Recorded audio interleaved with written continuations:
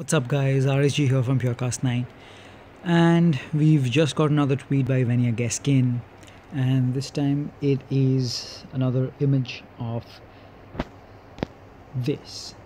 So he's just tweeted this picture so it's I'm sure most of you have heard that the Xiaomi Mi Mix 2 is due to be launched pretty soon.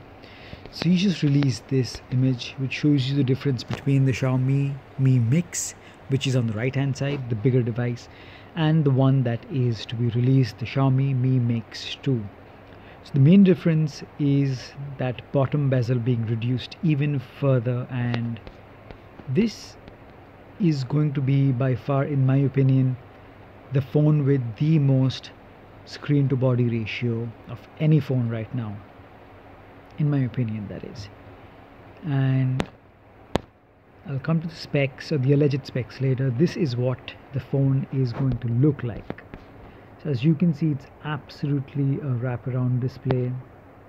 No bezels whatsoever, except for that bottom bezel there, which is even less than the one you find in the Galaxy Note 8 or the Galaxy S8 and S8 Plus.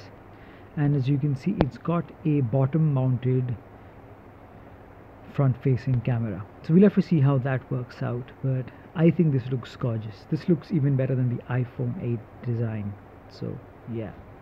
Now as for the specs once again by Venia Gaskin it's going to have the latest and greatest Snapdragon 836 even the Note 8 boasts the Snapdragon 835 so it's going to be better than that.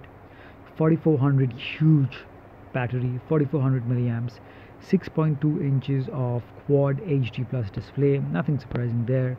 Android 8 that's Android Oreo right out of the box. Even the Galaxy Note 8 did not come with that. So kudos to Xiaomi for that. And 256 gigs of onboard storage.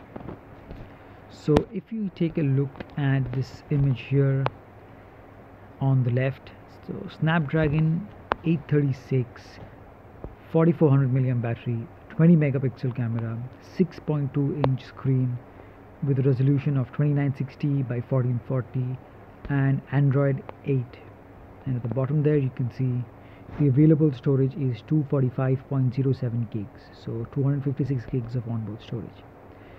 So pretty amazing stuff guys. If this is the final design this is really going to give the iPhone 8, the Galaxy Note 8 a run for its money because this is going to be comparatively much cheaper and in my opinion much better looking. We'll just have to see how this really works out in a real life test how the phone actually stacks up against the flagships of other companies like Apple and Samsung. Nonetheless, exciting stuff. Let me know in the comments below whether this changes your mind, whether you would get the Xiaomi Mi Mix 2 or still get the iPhone and the Galaxy Note 8 even though they are ridiculously highly priced. Let me know in the comments below.